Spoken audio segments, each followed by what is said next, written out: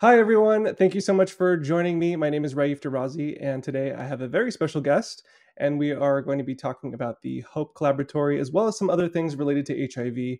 She is a friend of mine. She's someone that I work with also in the Hope Cab. Her name is Patricia Defechereux. Did I pronounce that Yeah, correctly? absolutely. I've Yeah, been practicing. I know it's a Um, hard one. Well, th- thank you so much for being willing to sit down with me and talk. I, I know you're extremely busy, so I appreciate it. It's a delight, Raif. Uh, I, I, I'm, I feel very grateful and blessed that Hope brought us together. I enjoy the interactions that I've had with you, and I have so much admiration for the work that you're doing um, through your social media, your advocacy, and the way you've picked up the baton as our Hope uh, Community Advisory Board co-chair. And the group of people we are working with is amazing. Very blessed. So I've explained it before, but in your words, can you explain what exactly the Hope Collaboratory is for folks that aren't aware?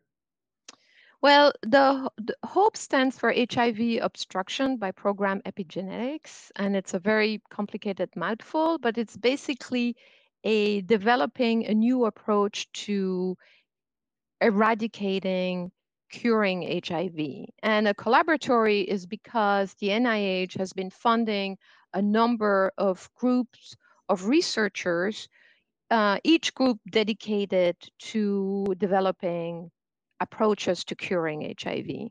So there's 10 of them, and the HOPE Collaboratory is focusing on an approach that you may have discussed before, which is called block, lock, and excise, where basically what we're trying to do with HIV, as you know, who remains hidden in the cells of people who are living with the virus, is a way to blocking it so it cannot multiply and create the havoc that it creates in our bodies, right? And once we block it, we want to lock it in place so it cannot come out again and uh, multiply, destroy the T cells or other, you know, um, cells of the immune systems, and possibly excise it at some point. Uh, That excise meaning cutting it out, removing it, or cutting it in some ways, just the HIV DNA, which is the material of the virus, which is hiding in our cells, that it cannot do anything anymore. And it'll just remain there like a remnant of a former self, if you wish, with no harms, hope, you know, no harm to the people who are living with with the virus. It's a when yeah. you say lock the virus in in in its container in the body, isn't that what the medicine does already? What's like what's the real difference there? Well, that the antiretroviral therapy, what happens with that is that yes, it locks the virus in place and it suppresses the replication. I don't want to use complicated term, but you know, people may understand that a virus, when you get infected with a virus, you have the virus goes in your cells and it hijacks your cells and uses all the machinery to multiply hmm the antiretroviral therapy does is like it stops the virus in its track and it cannot multiply. But if you remove and you don't take your medicine, then the virus may wake up again from where it is and start multiplying again and causing, uh, you know, negative effect on the body. With the block, lock, excise and other cure approaches, the idea is that you intervene but then you don't need to be taking your medicines every day uh, for the rest of your life. I, I cannot speak for other, you know, specific cure approach because I don't know them all, hmm but block, lock, and excise, we're hoping that it would be a combination of methods to get to the state of block, lock, and excise. And once you've done that, you know, you could be free of having taking a medicine every day and you would be, you know, uh, you know, cured from you know from hiv Yeah. So I'm I'm curious how you got to where you're at. I mean, I think most when we think about people in the HIV research field, we we don't necessarily think about them as three-dimensional human beings who mm-hmm. have lived a whole life. They're just, oh, they're the the white lab coats, right? So I'm I'm curious what got you into I'm I'm assuming you weren't a little girl and decided you wanted to go into um, HIV virology uh, research. So I'm curious, what point did that kind of become important in your life, and, and what did that transition look like? Well, you know, that's a really, thank you so much for asking this question, Raif, because I often think about my path in life, and it, and it's true, we are not unidimensional, not even bidimensional or even tridimensional, right? We have all these identities, and society tends to kind of reduce people to only one, and that creates a lot of problems in society. And distrust. I, distrust and reductionism and discrimination. Mm. I mean, yeah. the whole gamut. Um, I grew up in a, a, I, I didn't have an easy childhood, but I grew up in a in and that's shaped who I am today. But I grew up in a family of artists. Both my parents. Um, oh, Raif, I can't see you anymore. Oh, there you are. I was, I was, I was highlighting you. oh, you scared me. See, that shows you how no, well, I didn't grow up in a family of computer techs and, and social media specialists. I'll stay on the screen with you. no, no, that's fine. That's fine. Yeah. Um, I, my parents were both artists, and they were not tech savvy.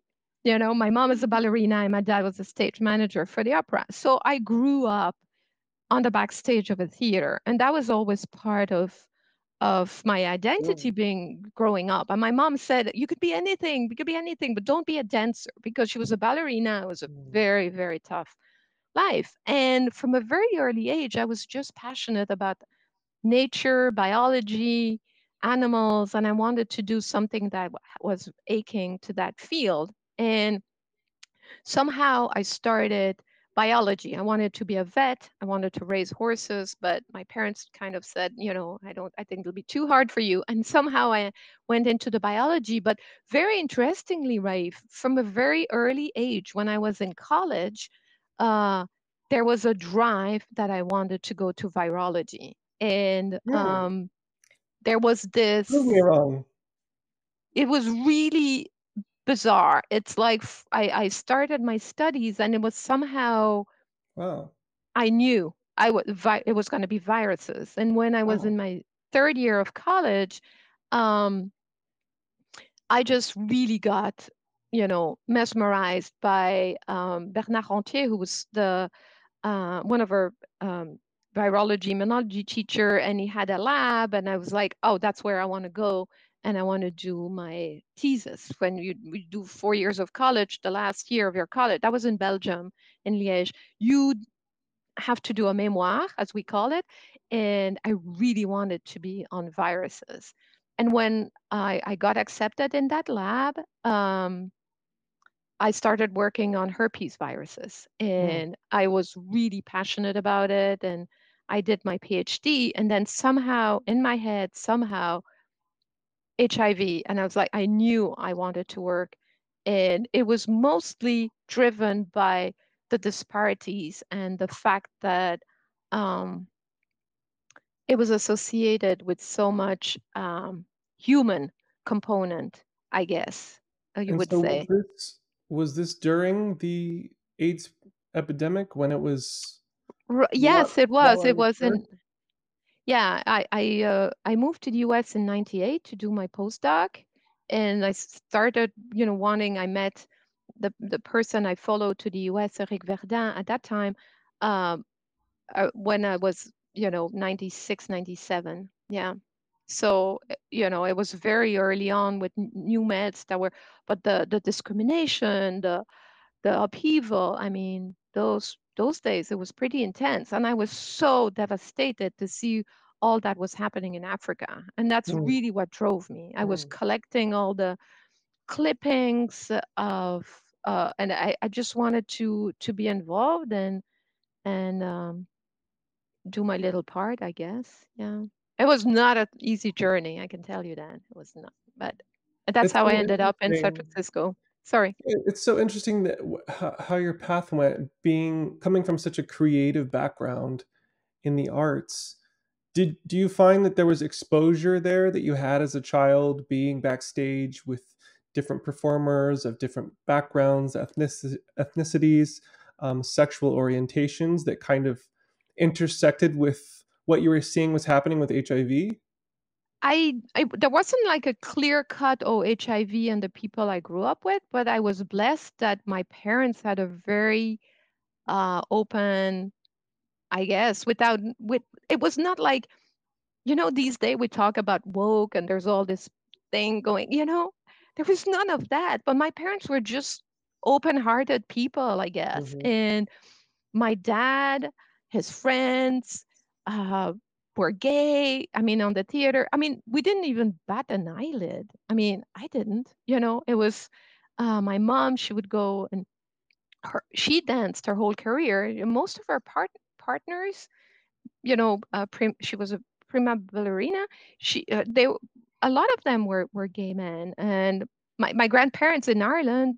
The, people would come over. I mean, I, I was lucky to have a family that was um, really uh, warm-hearted, I guess, in that respect. And maybe that subconsciously has just made me the person that I am today, that I, you know, take people at face value or with a label, you know? Yeah. I remember my only experience with someone with HIV who I assume had AIDS was in the early 90s. My stepdad had a friend come over. His name was Randy. And I think it was maybe the once or t- only two times that I ever saw him. He came over and he would looked really gaunt and skinny and pale. And I remember um, my dad saying, like, not to hug him, to keep distance from him. And then I never saw him again. And, Oh and then God.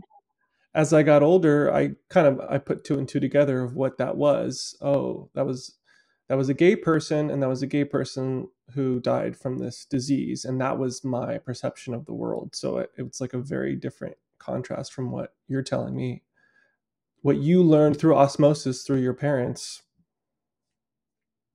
This, it really just makes me so sad because I've lost friends who are living with HIV and Mhm. um,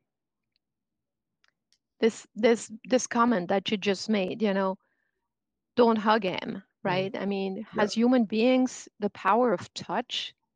I mean, even talking to you, I mean, my I feel my skin. I'm getting like goosebumps all over. In palliative care, a lot of the folks that people want the, just to be held. Yeah. And once again, not everybody. Some folks will say, "Oh, I won't. I don't want." But I think for a majority of people, just the power of touch. Skin is our biggest sensory organ, and Mm. and um, what we've seen through the HIV epidemic, where people were, were not even hugged or care, and we saw it again with COVID. I mean, uh, to me, it's yeah, it, To be I, I robbed feel of it.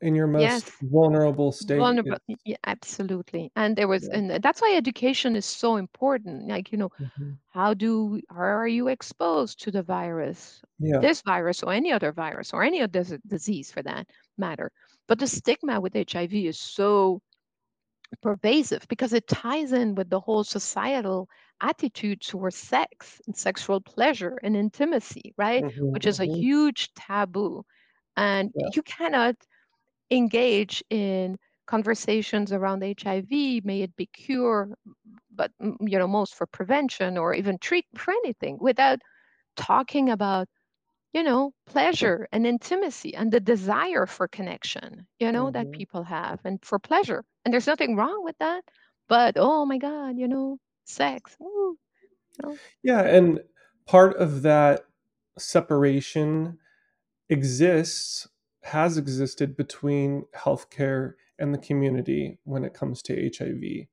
And so, like you said, that skin to skin contact. I remember early on when after I was diagnosed, a doctor who was wearing gloves took the effort to take off his glove and then touch me with touch my hand with his bare hand and I just remember being shocked like that was so profound for me that I still remember it now and how much that meant to me that like they weren't scared of me.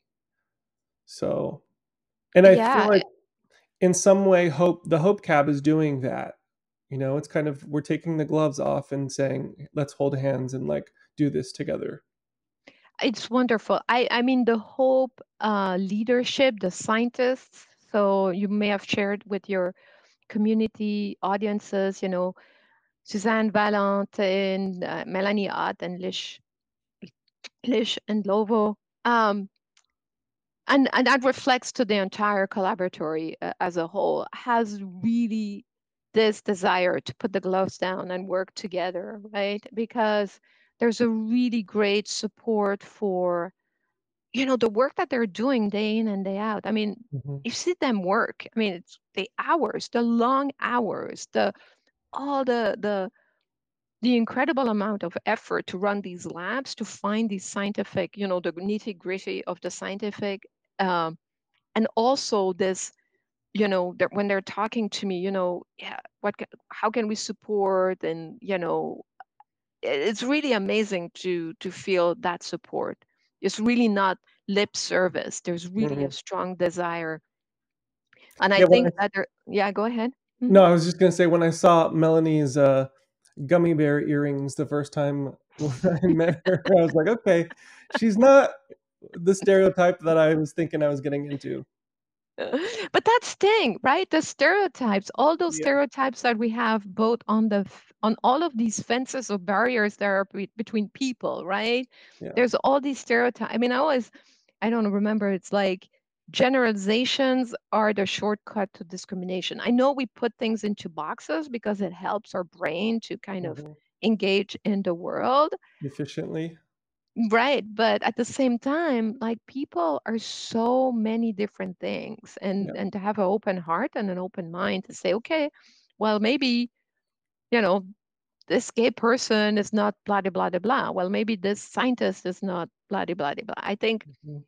you know, that helps Yeah. connect, you know, connect as as human beings on the we have to, you know.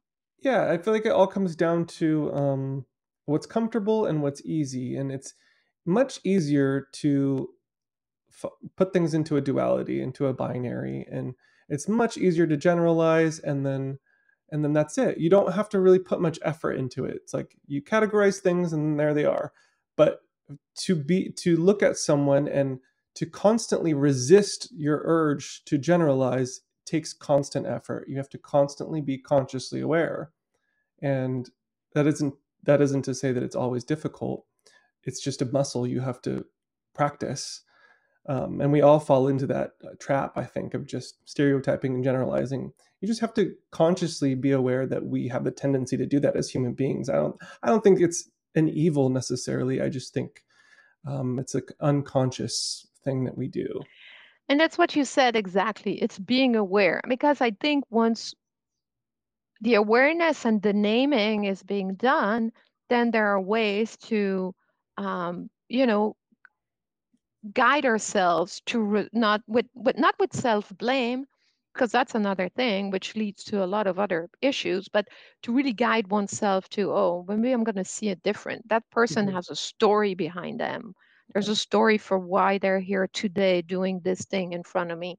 And um, and I think the more we have self-compassion towards ourselves, the more uh, we can be, you know, operating in the world in, in that way. And that infuses the work we do, Raif, you and I, you know, because there it's the intention. I know Calvin, who's on our cab, always tells me, brings back to what's your intention? And it's true. It's like, what is your intention in mm-hmm. in, in, mm-hmm. in, in, your interactions, in the work you're doing, and um, and with self-compassion. Yeah.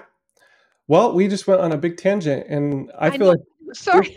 no, it's great. We could talk all day about many things.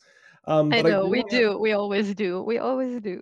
I'm going to rein in the horse a little bit here, and I want to take it back a little bit mm. to some of the, your work that you've done in the past. I know that you were very involved with PrEP in the very early stages, possibly before it was even known as PrEP. Is that correct? Well, no, I think the the name pre-exposure prophylaxis was already being used, but Okay. it's the it's with um yes, I I, I had the uh, privilege, and it was not an easy road either at times, but the immense privilege to be uh, involved with the IPREX trial, um, Initiativo Prophylaxis. I can remember even you know exactly what it says, but uh, which was the big trial with, which led to the approval by the FDA of mm. Truvada for uh, prevention. And um, IPREX was an extraordinary uh, study in as much that there was an enormous community involvement. And also we made, you know, mistakes on the route in terms of how, you know, a better job we could have done of, of uh, as a, you know, the whole prep field at the time to engage um, certain voices at the table. But the study in itself was just an extraordinary uh, for me from where I was in, in, in, the, in the, core group that led the IPREX trial with Dr. Robert Grant and Vanessa McMahan and so many other incredible people was that we we really feel like we were so incredibly appreciative to our study participants. All the uh, the folks who I mean, they're superheroes, right? Because at that time we, did, you know, people didn't know was it going to be effective, not that, and the people that engaged in the clinical trials, you know, and gave their time and their specimens and and um, yeah, I'm, I'm curious. huge, yeah. I'm curious how that worked. So I'm just trying to get into the mindset of someone at that time, as someone who was HIV negative, was signing up for this clinical trial and mm-hmm. trying a medication that obviously we, we're still figuring out whether it works.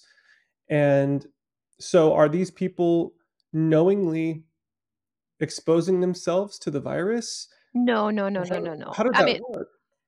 No, when you're doing the, those trials, first and foremost, the safeguards are in place. What you want is the well being and the safety of your study participants. So, people who were engaged in the trial were offered at every visit, where they would came and give specimens and be giving their pills and whatnot, messaging about what they call it safe, you know, safe practices. So it was nobody was out there saying, "Oh, don't wear condoms." Want to see if it works.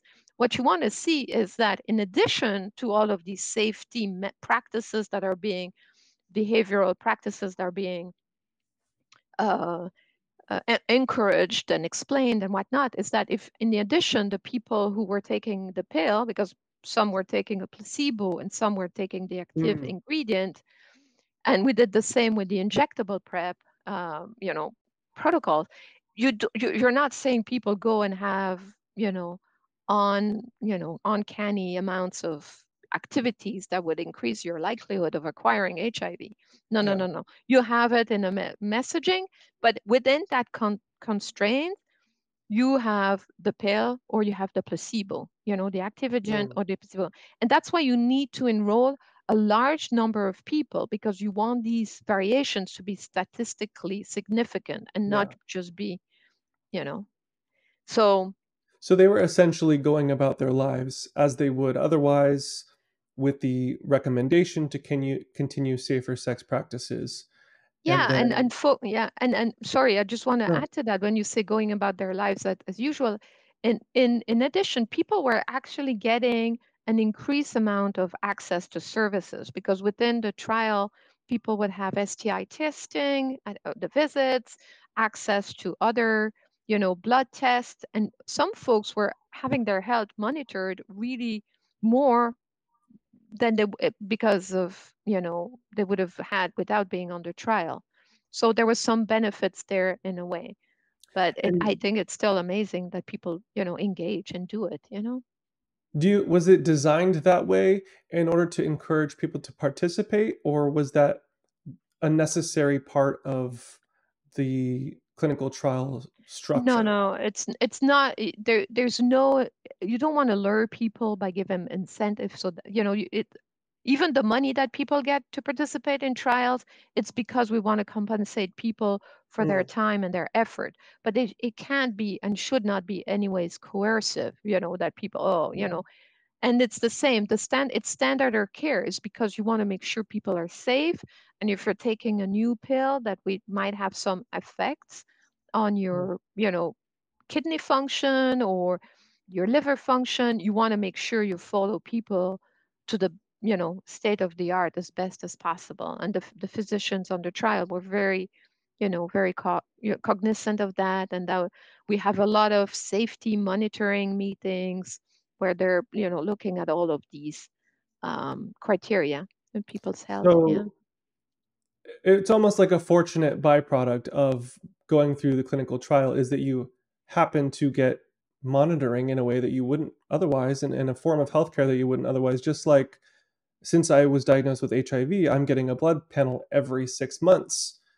And, and being able to look at my body in a way that I never have in, in the past. And it, that is to say, as it's not an encouragement to go get HIV because now you'll get blood work every six months, but it's no, it's a fortunate byproduct of the fact that I had a diagnosis and now I have yeah, very yeah. uh, in-depth care. in that yeah it, it's not it's not something that is done to entice people it's just things that are being done because there are many layers of monitoring to ensure safety and Yeah. and and um, accuracy from all of the data that's being collected and i cannot speak for all of the clinical trials because i've just been involved in a few but uh, what i've witnessed firsthand uh, has been really thorough so yeah Well, it was obviously uh, a raging success because here we are. Well, it took it took a while because at first there was a lot of pushback. I mean, I think there was some, Mm, I mean, once again, I'm not going to speak for everybody, but when uh just from where I stand, my, I'm I'm not speaking for my team or for any other institution, but I feel once the results came out, and then there were other stor studies that were looking at PrEP as well, Partners PrEP, you know, we were not the only one mm. and um, there were a lot of pushback which were linked to slut shaming and to the whole concept that people who were choosing to go on PrEP after FDA made it public, you know, it it, it, it, was like, oh, people are gonna have, you know, are gonna go and have a lot of wild sex and you know, kind of and, and even so, like if people wanted to go and have a lot of sex, that's their prerogative, maybe. You know, I'm not judging the behavior per se, but there was a lot of that idea going around where some people were saying, "Oh, I'm doing what I can to protect myself and my not acquire HIV, and also protect my potential partners and Yeah. and stuff like that." So it took a while. There was a lot of pushback until some, um, you know, there was a tipping point. We reached kind of a, a, a at one point there was like, and I think if you could have Bob on the on the on your channel, he can talk to you um, about that in, in great detail, where folks, um, you know, it, it people realize, okay, this is yeah, this is going to shift, you know, the course of prevention, And uh, I and it assume it it wasn't just the science community that was pushing for this change. I'm assuming community had to be involved and and I, I don't I don't know where all the resistance was coming from, but um, well, uh, before, you know, before I think uh, before the trials, I think people were already using maybe intuit, you know, off-label kind of uh, doing kind of community was, I mean, there was the history of that. I don't remember the details and I'm not, you know, sure of all the when it all kind of began. And I, once again, I think Bob would be the great person or Vanessa to have on your show or on your channel to discuss this. But community yeah, I would love members were, yeah, community members were really talking about, you know, this, we want something else to protect ourselves. And we, with Truvada, I mean, it didn't just came out of nowhere. Community was very, once again, was very aware, had a lot of expertise and kind of you know was talking as well as long uh, in parallel as the science was happening when they were showing in in models that prep was efficient you know could do you know uh, this uh, preventive effect you know in the scientific lab experiments in the animal models. Community members were saying hey so it came you know i think it also kind of coalesced in that way. Mm, but i think when the the the the when um the results came out and FDA approved. I mean, I remember I, have, I even have a a T-shirt that some I forgot his name. Some it was called Prep Whore because there was so much pro- pushback, and I I don't know what or who kind of initiated this pushback, but hmm it did it did happen and it slowed down uptake and then you know Mm. there was probably a lack of you know campaign or or making it known and but but now you see what prep has become i mean Yeah. it's you know there's a conferences about it and and um yeah so it's really bizarre to put myself back in 2012 or Yeah. 2011 and and, and, and when it was so yeah Well, I I just missed the boat on prep, so to speak. I remember I think it, that came out maybe a year after I was, or at least that I was aware of it a year after my diagnosis. Um, but I remember kind of a similar sentiment happening around U equals U. This kind of slut shaming. Oh, U equals U. That means everyone is just going to go around and and have sex and not care and and then somehow that's going to lead to more transmission which seems like a catch 22 but eh, it seems like each incremental point of, of progress there's a sense of fear that the progress itself is going to lead to more harmful dangerous activities that will exacerbate the epidemic. But on some sense i i, I feel like there's some latent discriminate discriminatory belief systems that are kind of pushing that narrative along the way especially when it's legislative. Yeah, um, I mean, I'm listening and to what you just said about U equals U, and the, I wonder if it's the people's perception rather than looking at the positive outcome. Like you said, it's like the fear. I mean, with PrEP, it was like, oh, you're going to have a lot of drug-resistant viruses that are going to be selected. I mean, um, I mean, we even had a study which was surveillance, people who did acquire PrEP why uh, acquire HIV while on PrEP. There's a few, you know, there's been a few cases and they've been looked into in depth. But it's like something new and I guess who knows what subconsciously, you know, may happen before a whole there's a whole sociological studies around that about what it takes for the adoption of a new a new approach. yeah And um and I feel like the the desire that people have had to take care and have another tool to take care of their own health and have that option you know it's like it's client centered it's patient centered it's like here we are nobody's being forced to you know into taking something but it, what works best for you? You know nobody Mhm. we're not going to force anyone to go take a prep or uh, uh, whatever. It's like what what in the toolbox of things can we give people so that they can make the best you know choice and yeah. educate so that people have an opportunity to choose what may work for Mhm. them. And without the education it's like if people don't even know it exists and that's why prep has been so uh, i mean there's been lagging in in in in the you know in in the outreach in in in, in different communities. And i'm i'm thinking about oh jim oh god his name escapes me this this is the problem with being so tired um there was an amazing campaign spread love not was around prep um it's Jim. I this last name escapes me. He's gonna hit me for this, but um, he in, in Chicago AIDS Institute, and he did this incredible campaign, Spread Love, which was really trying to go against the that ed tide of norman stigma. Pardon?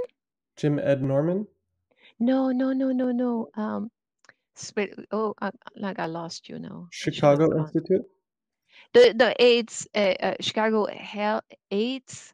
Um, i'm trying to look it up really quick yeah, yeah. Look, chicago aids um, Jen spread love yeah, Spread Love, Spread Tingle. Jim pickett Yes, yes, Jim Pickett. Yes, yes, yes, yes, yes, Jim. Sorry, Jim. He's amazing. He's amazing. He's such a wonderful advocate, you know, person. But he did this whole campaign with images on the buses about people being in an embrace and it was all about spreading love and and tingles and joy and and to try to go against this whole slut shaming yeah jim so pickett. Yes jim. Yeah i, I see how advocates do incredible work all around. Mhm. okay well so back to the hope cab. Hmm what are your what are your hopes for i know this is the first year that we have formed our cab. There's more around around the nation but ours is this is the first year. Um, we for those of you that aren't aware we we are following the hiv cure research. So with that in mind and with connecting scientists and researchers with community what are you hoping to achieve maybe for you personally or for our cab specifically moving forward? Uh well the first and foremost is really the cab is a bridge is a connector right? You all are opening and getting into the world of the basic research of what's happening to find a cure for HIV, not just for block lock Excise, but at the annual meeting, you can go and see, uh, connect with all these other researchers and CAB members.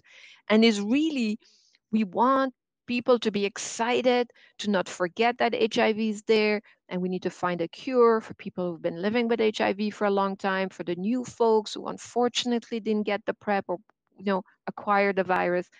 And education, right? Uh, be able to have access to that information, to have also an honest opinion on that cure research that's being done. What would work best for communities? What communities' concerns are? That's really what I, am I'm, I'm wanting most and foremost for our Hope Collaboratory and for the CAB is this bi-directional conversation between all the community folks that are, you know, involved our community Mhm. partner you know at the foundation and a scientist you know seeing scientists engage in their work thinking about oh I mean, I never re- thought about these psychosocial component. You know, I'm doing the experiments, but yes, this is a person living with HIV who's got to deal with X, Y, and Z, and really have these conversations be beneficial for both you know partners right it's it's an equal partnership of conversation of connection you know giving opportunities for cab members to discover new things you know learn skills you know bring their expertise to the scientist. Uh, and for me uh, personally yeah i really see people thrive you know people be you know enjoy the work that they're doing and feeling that um, we're part of a good group and, and that we're connecting with one another. Yeah that's really important I, nothing makes me more happy when you say to me oh you know i'm going to interview um, michael you know from the dare cab you know this all all of us really working together. Yeah. And bringing in the arts with pauline and the the care yeah program i mean which reminds me i need to schedule that with him. Well i'm waiting for the language document to be finalized but yeah that'll happen. I- i'm scheduling a lot of interviews this year and it's it's intimidating it's a little scary but um, i'm really excited at the same time. Yeah no i get it. Um, okay so uh, in closing we've been about 45 minutes. I appreciate you you know taking all this time to chat with me. I i think i want to start asking a question that i'm going to ask everybody to kind of get to gauge how they view this but i want first i would like to ask you what you would like to share communicate with people watching that maybe you feel you haven't been able to express yet? And then secondly what is your assessment of the global state of the hiv epidemic? You can and however you want to interpret that. Um, something i haven't had a chance to uh, want people. Um.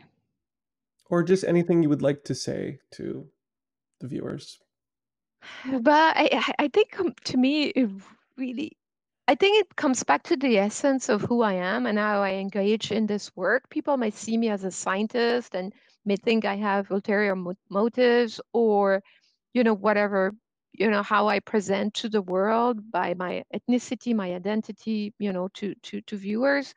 but really the core of who I am is really that I care. I really deeply care uh, about us taking care of each other and of the planet. And that's how I engage in this work. And that if the people who listen to this show um, can, you know, engage on this path of whatever they're doing into the world with the sense of connectedness with each other and um, that we may have all our cultural or identities and but we're all really connected to one another and we really are connected to the, the you know the planet we live on and that it's all part of of um, the work that we do with hiv and is connected to so many other things yeah i think i think for me it's that sense of uh, the purpose of the work that Mm. i'm doing it's not for personal uh, achievement per se yeah And in my experience with you, that comes across very, very loud and clear. oh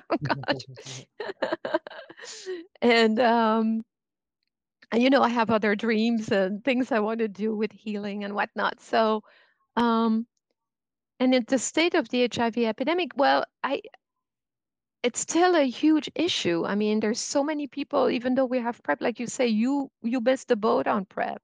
To me nothing breaks my heart more it's to hear a young person or it doesn't have to be a young person but somebody tell me you know i didn't know prep or i didn't have access and, and then acquire a virus which if it's not a death sentence today the way it was back in the you know when you know it all started it's still you know it has an impact on your body and you have to take meds every day and if you don't take them who knows what may happen and even if you take the meds you're still inflammation going on in your body and for uh, us living in the western world we, we have access to uh, a lot of you know medicines and, and things like that but so many parts of the world where people don't or if they do there's uh, laws or, or or or situations that prevent mm. people from having access to some of the things we we have here on the other hand we have here a lot of things that are also not very helpful but that's another story All right. Well, thank you so much, Patricia, for engaging in this conversation with me. I encourage everyone watching, if you have comments or questions, please leave them below, whatever platform you are watching this on, and maybe I can have you back at some time and we can follow up and maybe answer some questions and and take it from oh there. i'd be happy to I'd be, I'd be happy to talk to your audience i'd be happy to talk at the use of the arts there's so many people i didn't mention today that I would call attention to to the work they do. Um, yeah, thanks you, Raif. It's just, and I'm not a social media person, or I'm not very familiar with being on on the TV, on the screen, and whatnot. So yeah, That's what I'm here forgive for. me for that. Yeah, thanks. All right. Thanks, everyone. Please like this video, subscribe to my channel if you haven't, share this with anyone who you think might find this helpful. Liking and subscribing are the number one ways in which you can support my channel, encourage it to grow, and help me to continue doing what I'm doing to provide you this valuable content. All right, everyone. We'll see you next time. Cheers. Bye.